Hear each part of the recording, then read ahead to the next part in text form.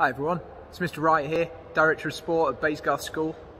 Unfortunately we can't have you all in enjoying our open evening this year, so I'm still in our sports hall, all on my own, but I'm going to set you a challenge. PE are taking over social media for Baysgarth today, and our challenge is as follows. We want you to throw a piece of A4 paper into a bucket or a bin. The most spectacular throw wins. So we've got a great prize for whoever can do the best throw of a piece of paper into a bucket in their own homes or in their own gardens. You have until 9pm tonight to do it.